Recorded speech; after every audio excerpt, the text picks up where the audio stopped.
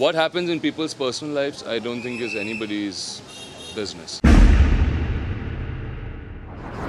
Expected होगा वो सवाल। वो जो स्टेटमेंट आपकी तरफ़ से आया था।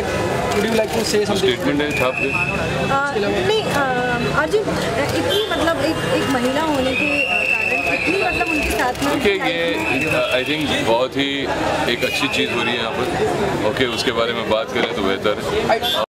उसको इससे सेलिब्रेट करना चाहिए? वो चीज़ एक को नहीं जो मैं बात नहीं करना चाहता। आपका नाम लिया जा रहा है इसलिए मैं बोल रहा हूँ। मैंने क्लैरिफिकेशन दी हम सारी मीडिया जो है उनके साथ में है और बहुत अच्छा काम करी। इतना सब कुछ होने के बाद में भी उन्होंने अपना has है। always been family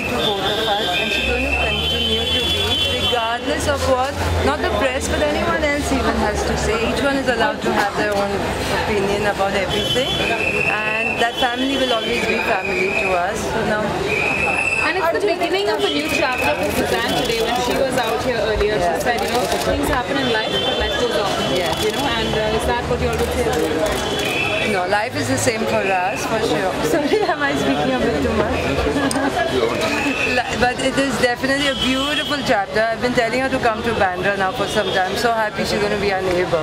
आप आप आपके आपके नाम आपके लिंकअप्स हो रहे थे उनके साथ में लेकिन आज वो यहाँ पर आप क्या कहना चाहेंगे मैं तो यही कहूँगा कि देखिए जो भी होता है ज़िंदगी में आ, हो जाता है कभी कभी आपको अच्छा नहीं लगता जिस तरीके से कुछ have to move on in life and as you said is the beginning of life and is a new chapter and a new beginning और एक इज़्ज़त देनी चाहिए लोगों को उनके पर्सनल लाइफ्स को। तो मेरी यही आ, ख्वाहिश है कि लोग उस तरीके से इज़्ज़त दें। उन्होंने भी ये कहा है अ, सुजैन ने भी ये कहा है कि अर्जुन रामपाल हमारे डिवोर्स का रीज़न नहीं है। और like we are very good friends and it's like family friends देखिए मैं ये कह रहा हूँ कि it's the most important thing is for people to be happy or whatever makes you happy.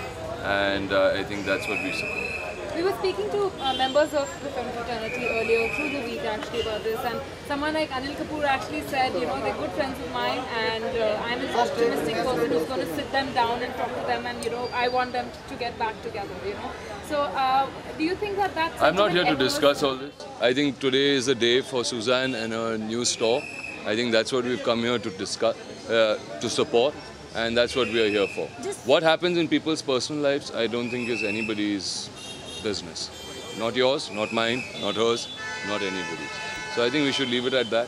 And I think you all people, as responsible people, if you want to really be responsible, should leave it at that. Correct one Thank you. Last one last अच्छा क्या plan है Christmas के उसके लिए वो तो Christmas के लिए मैं अपने